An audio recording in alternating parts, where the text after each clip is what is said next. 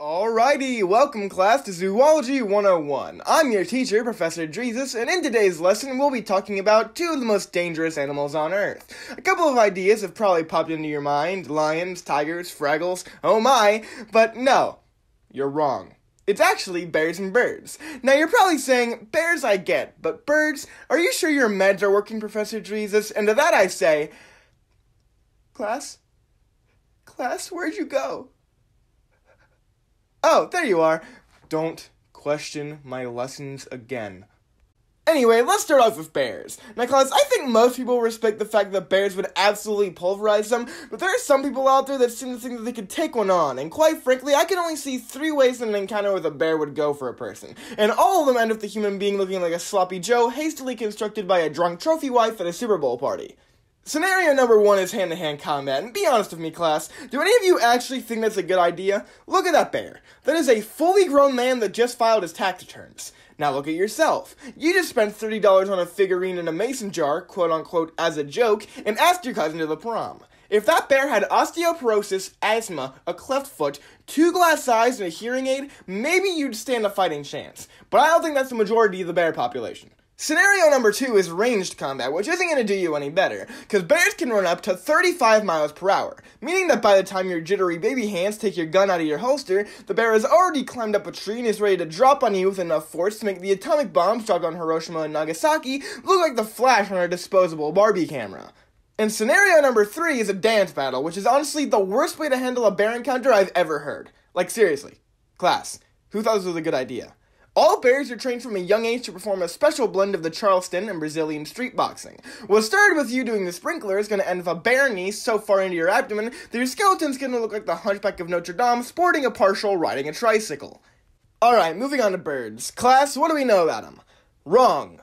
Wrong. Wrong. Incorrect.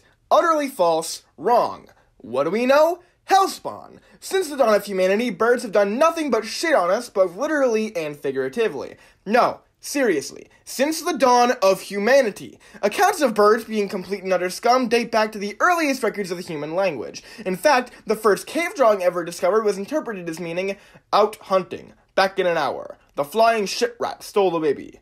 See ya.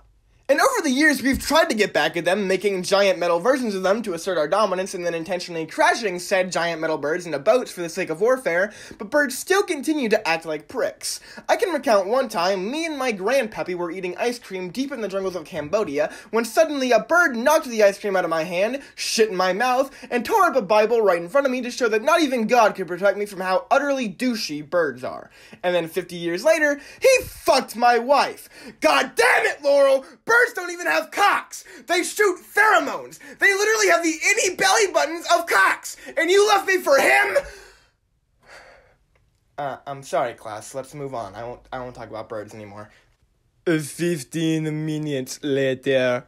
Every country that has declared war on birds has lost. Both of them. Let's start off with the most famous bird war, the Great Emu War. Let me set it up for you. 1932, Australia's broke. They went all in on a back alley card game and now they've lost their son, they've lost their car keys, and all of their food is being eaten by a massive bird with no arms that looks like an amputee Sesame Street character.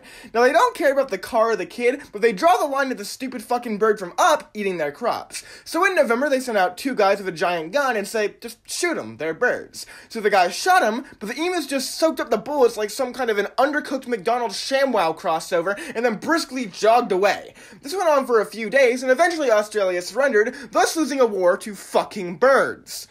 The next time a country declared war on birds is somehow one even worse. Let me paint you a picture. It's 1958 and you're the leader of communist China. Everything's going to shit and sparrows are eating all of your grain. What do you do? Well, you could do any number of things, but for some reason you decide that you should just kill all of the sparrows. This goes fairly well, and you kill a metric fuck ton of them. But as it turns out, the sparrows were actually eating all of the bugs that were actually eating all of your crops. And now you're facing the largest famine in human history with as many as 78 million people dead. You may have won the battle, but the birds won the war. In conclusion, class, birds are evil creatures from the deepest depths of Satan's ballsack that'll fuck your wife and destroy you in warfare. And bears are pretty dangerous too. Dismissed.